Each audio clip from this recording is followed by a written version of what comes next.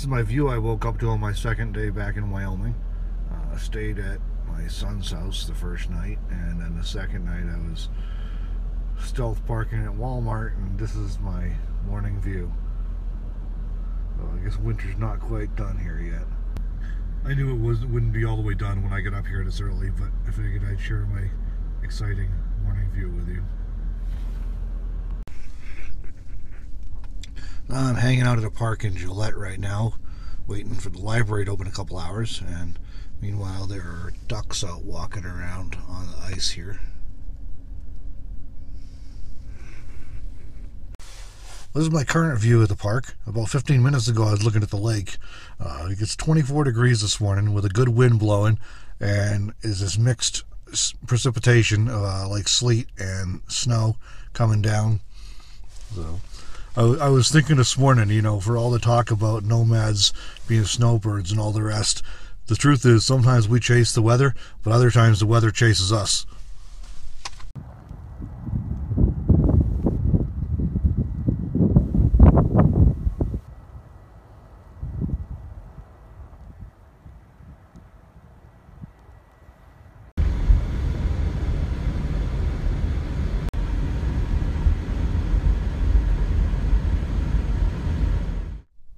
So snow in Wyoming in uh, March is not unexpected. It's, it's, actually it's pretty typical.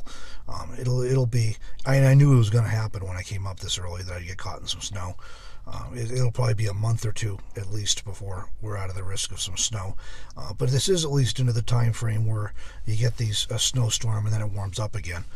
So like that, we had that. The time I'm recording this, that uh, snowstorm was yesterday, and today is up into the upper 30s, but at least sunny and you know then it gets pretty nice for the next 10, seven or ten days at least for the extended forecast uh, going forward after today. So what surprised me about that storm was just that it had been in the 60s and uh, it, was even 60 degrees the day before.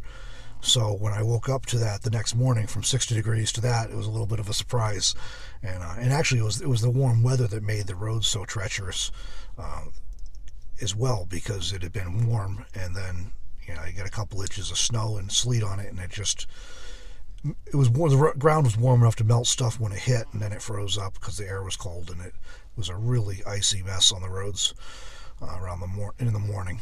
It was pretty good by afternoon again. So that was my welcome to Wyoming. A nice 60 degree day, and then a snow and sleet storm to wake up to the second day.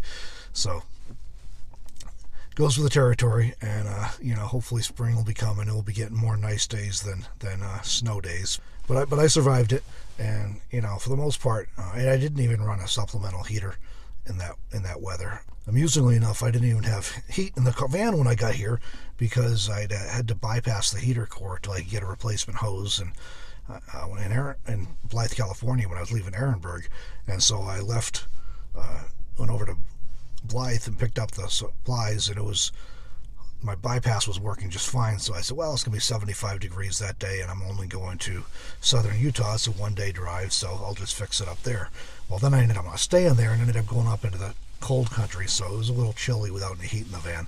But I got that fixed on Sunday while it was 60 degrees out, and uh, so I at least had that um, for when the weather was bad here.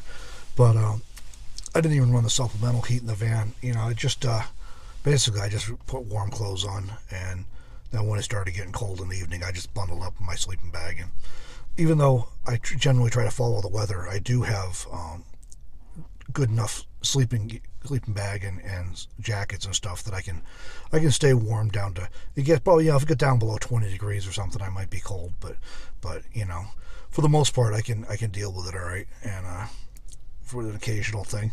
It's uh, and being in town, I've got family I can visit with here, and a you know library and coffee shops and that kind of thing, so I can get out of the cold if I need a break for a while too. So not a big deal. Um, it was just more a matter of hunkering down for for a day, just like uh, you know, kind of like we get a rainstorm in the desert or a windstorm in the desert. You know, just just one of those days that basically ends up being a down day. You know, so you can stay trying to stay focus on staying warm and and safe and and uh, let it pass, and then it's gone.